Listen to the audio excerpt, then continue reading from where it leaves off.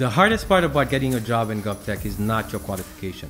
It's getting through the security clearance. If you're trying to break into GovTech but are facing challenges, this episode is for you. We'll uncover the biggest roadblock and how to push past it.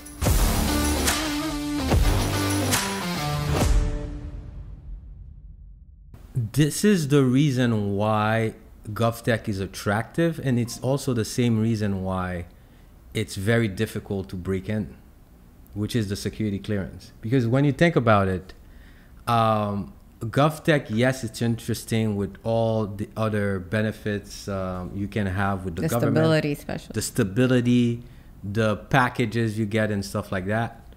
But because of the security clearance hurdle that usually is required for most of the GovTech jobs, it makes it more valuable. It makes it more uh, um, coveted by people, Yes. and it's it's not easy.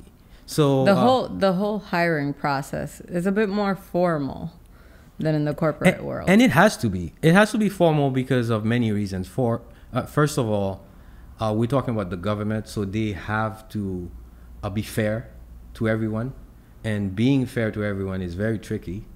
And second, um, there are real security risk involved, so you have to be very careful. You cannot rush the process. And And the other thing is like most of the time it's like you're getting hired by two entities. You're getting hired by the government agency and you're getting hired by a contracting agency. So you have to interview with both, be likable to both, be trustworthy to both in order to get that offer and to even start that uh, clearance process. Actually, sometimes you are getting uh, um, interviewed by three entities, not interviews. You're getting the processes with three entities. The entity that's hiring you, I don't remember the name of the entity, but there's an entity in the government that only uh, manages uh, hiring, government hiring. I think it's GSA. GSA. So you have to go through GSA, which is the entity managing the security clearance process, and the contractor actually giving you the job. So it gets convoluted very fast. That's why the process is super slow. But of course, And it's then, all worth and, it. and you didn't mention the clearance process is run technically by the FBI. Yeah, so it depends. It depends on what level of clearance we're talking about. That's why I always tell people when you try to get into GovTech, it's not necessarily a good idea to start with a job that requires a, um, a security clearance, for example, because there is something lower than a security clearance, which is how do you call it, Paloma? It's a public trust. It's a public trust, which is uh, it's a lower degree. it's a it. it's a lower degree of background check. Um, it takes uh, less time, and there are more jobs with this um, with, with this, this, kind of clearance. Yeah. But also, they pay less. They are usually less attractive in terms of salary and bonuses and stuff like that. But it's the best way to start. And also, the, a person that has a residence, in Amer- uh, a U.S. residence, can qualify for it. Exactly. That's one of the main differences with the higher level clearances, like the top secret.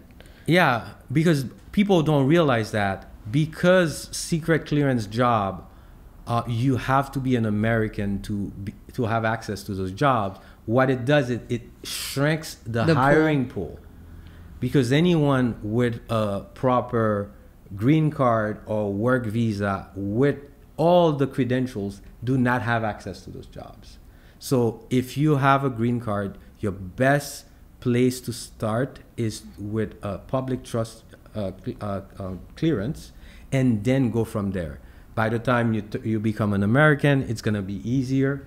And the other thing, which I think is a hack as well, is to make sure when you are doing your research, when it's time to go to your next job, to make sure, even if you're not getting a high clearance, sorry, job, you get a job with a company or an agency or contractor that has high clearance jobs available, even if it's not the one you're getting.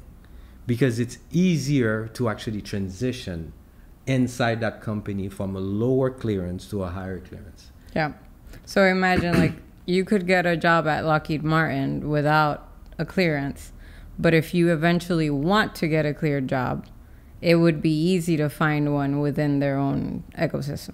Yeah, um, and also you have to proactively apply to these jobs. So even if you are already in the government, you have a, a low clearance, proactively apply for the next job, for your next promotion to actually increase your security clearance. Because um, a lot of people don't realize there are about five levels that we know about. Because also there are levels that you don't even know.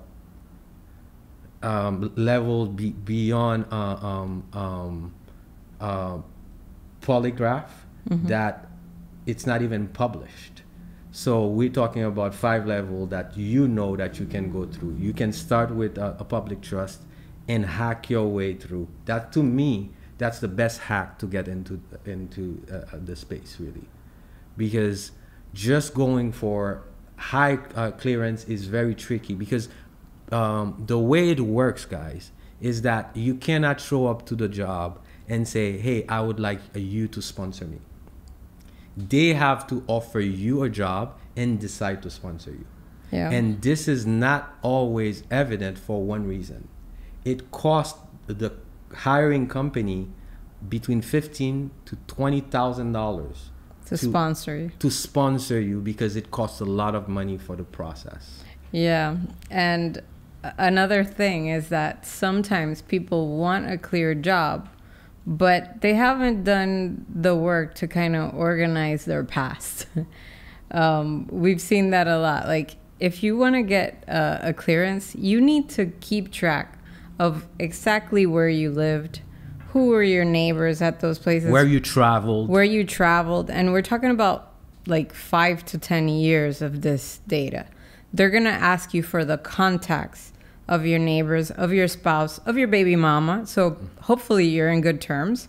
yep. um, your credit, Your your previous employers. So imagine and if keep your credit right. if you left your a previous job, even if it was four, five, six years ago, you better have somebody that can vouch for you in those environments because they may get a letter or even a visit um, in the in the clearance process.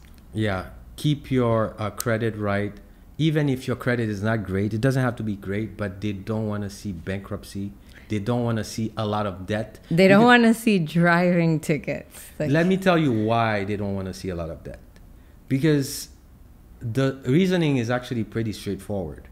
If you are in debt, imagine how easy it is to be to get bribed by someone, by by a foreign a bad entity. actor, yeah. You see, you are two hundred thousand dollar in debt, and the guy say, "I'm gonna pay this, this off.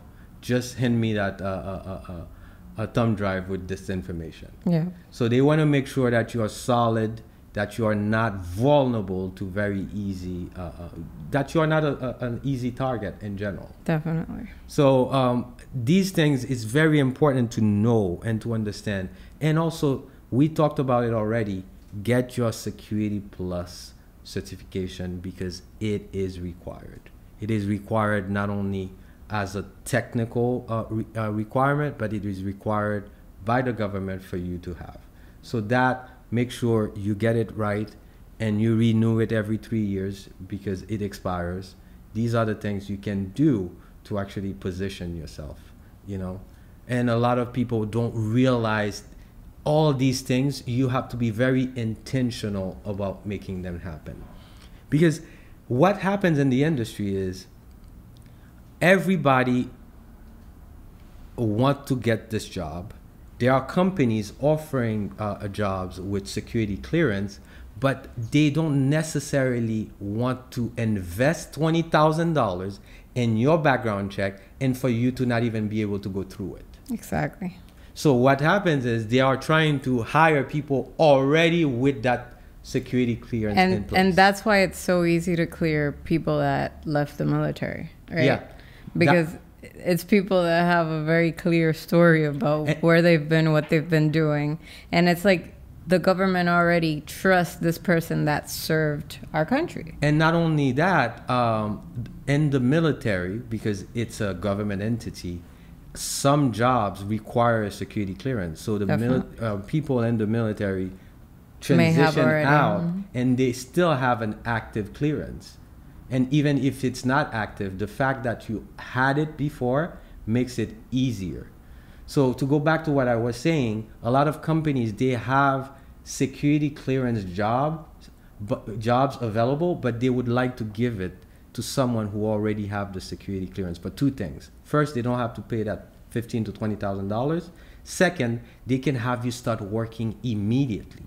Yeah. Because even if uh, they are sponsoring you, it might take six months. They have to start paying you when they hire you, depending on the contract. But some contract requires that you start getting paid once you get offered the job until the the, the background check uh, uh, it happens, which is usually sometimes six months to 18 months. So you imagine you hire someone, you cannot charge for their service for 18 months, but you are getting you you have to pay them for all that amount of time. So this is the tricky part about it. Another thing to have in mind is that not all companies and not all roles allow um, the contracting agency to sponsor you for a for a clear job. Sometimes they have to hire somebody with an active clearance, and you're gonna see that in the posts that they run. Yeah, sometimes they don't even have the authority. Exactly. That's that's, that's it's like a quota that's given to E- to the contracting agencies. what I want to make sure everybody understands the best way to get a GovTech job is to start at a lower clearance job. Start looking at Public trust. public trust. Start looking at pub- public trust. Um, make your way into the industry, make your way into the sector, and then work your way up. This is the best way, the easiest way, and definitely don't forget to get your Security Plus.